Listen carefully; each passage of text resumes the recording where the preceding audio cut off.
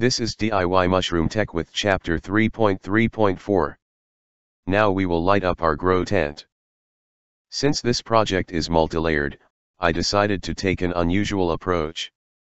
I produced this video in a way, that it can also be used as a printout. That means you can use it offline, or even use just print some single pages of it. All the design that are shown can also be downloaded. Hey. My name is Daniel, I am from Germany, and I will be your host. Let us illuminate our grow tent. This video is all about the illumination. We will check out what the specification are. We will have a detailed look the installation and watch a video about it. We finish with the bill of materials. Before we start, I did put a lot of work into this lecture series. I hope you enjoy it. Maybe you want to consider to buy me a coffee? There is a serious reason why I ask. In life there is balance everywhere. Summer and winter, day and night, hot and cold, and so on. It's obviously natural, that taking and giving is also a polarity that needs to be in balance. Only when there is balance can we, as humans, achieve harmony and genuine happiness. That means, if you take something for example from the internet, you should also give something back. Please check for yourself if your life is in balance. If you want, you can support me with a donation. That would be great. You could also support any other good project. Send someone a smile, leave somewhere a nice comment, or just be joyous and spread some love. Let us have a look at the specifications. I have two solutions for the illumination. First solution is the usage of LED strips. They are very convenient, as one only needs to fixate the strip inside the tent. Second solution is the usage of LED bars. One has a little bit more cabling to do, but after one can plug of separate layers. This way it consumes much less energy. The LED bars are normally watertight. As we never have water droppings in our tents normal DuPont connector or universal cable connector also work fine. You only need different illumination, if you want to grow plants in your tent. Now we will look into some details. Solution 1. I used 5 meters LED warm white flexible light stripe. Connected with only one connector.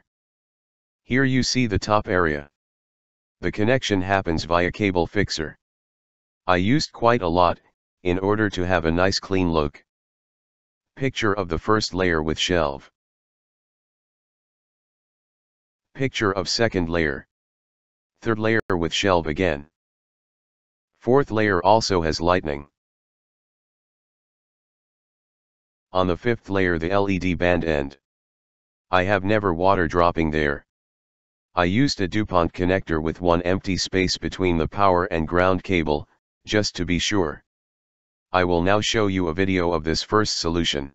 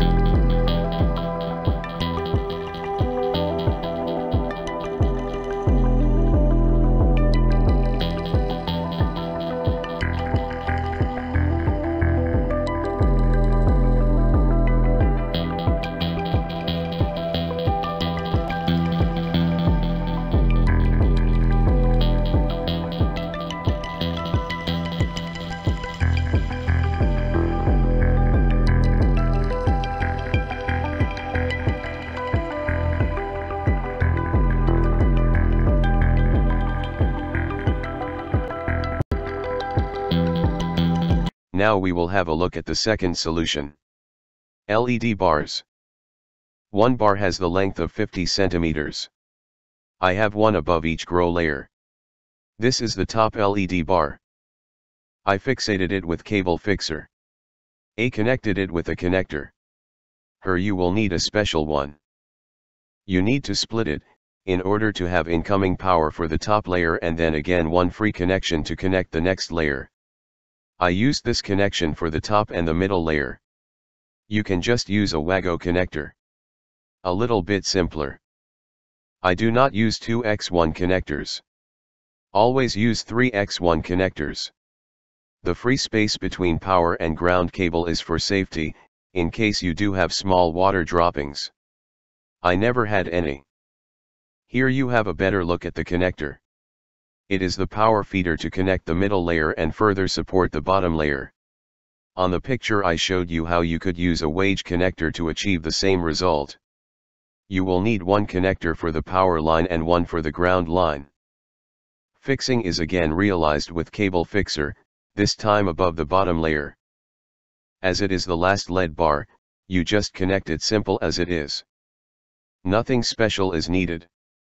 Here you see a picture from the ground, with the three installed LED bars. You could easily install 5 or more bars. But then I would maybe go for the LED band. Here you see the mushrooms I did grow with the lights. You see the little waves on the top. They resulted because of the turning of the lights on and off during nighttime. Now I will show you a video of the second solution.